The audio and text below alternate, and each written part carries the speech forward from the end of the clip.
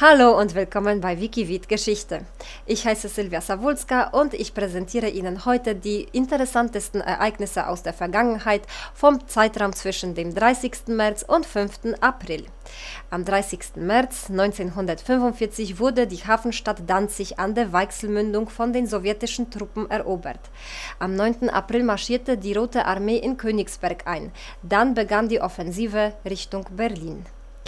Der Zweite Weltkrieg hinterließ zahlreiche Armuts- und Versorgungsspuren in Deutschland, die erst später im vollen Ausmaß zum Vorschein kamen. Die Rettung kam mit dem sogenannten Marshallplan, benannt nach Außenminister George C. Marshall. Das European Recovery Program, wie der Marshallplan offiziell betitelt war, wurde am 3. April 1948 von dem US-Präsidenten Harry Truman unterzeichnet und konnte somit realisiert werden. Und jetzt eine Nachricht aus dem Motorwesen. Am 3. April 1885 bekommt Gottlieb Daimler offiziell das Reichspatent auf seine Erfindung des Standuhrmotors. Den Namen verdankt seine Erfindung ihrem äußeren Erscheinungsbild. Es sieht aus wie eine Standuhr. Die Arbeit an dieser Erfindung bewerkstelligte Gottlieb Daimler gemeinsam mit Wilhelm Maybach. Freiheit, Gleichheit, Brüderlichkeit. Wer kennt es nicht, das Motto der französischen Revolution? Doch was 1789 mit hohen Idealen begann, wandelte sich schnell in Mord, Rache und Machtspiel um. Und man musste nicht lange warten, bis die Revolution und besser gesagt die Revolutionäre, gesammelt um die Person von Robespierre, anfingen, Mitglieder aus ihren eigenen Reihen auf die Guillotine zu befördern. Am 30. März 1794 erfasste es einstige Freunde und Wegbereiter Robespierres, Georges-Jacques Danton und Camille Desmoulins, wegen einer vermeintlichen Verschwörung wurden sie verhaftet und sechs Tage später, am 5. April, wurde an ihnen das Todesurteil ausgeführt. Ihre Hauptverschuldung bestand in einem Protest gegen die Terrorherrschaft von Robespierre. Desmoulins soll kurz vor seiner Hinrichtung gesagt haben, die Ungeheuer, die mein Blut fordern, werden mich nicht lange überleben. Und tatsächlich, nur vier Monate später, am 28. Juli, erfolgte die Hinrichtung von Maximilien de Robespierre. Kennen Sie dieses Gemälde? Wahrscheinlich besitzen zahlreiche von Ihnen eine Reproduktion dieses berühmten Bildes von Vincent van Gogh zu Hause. Wussten Sie aber, dass dieses Gemälde eine Serie angehört?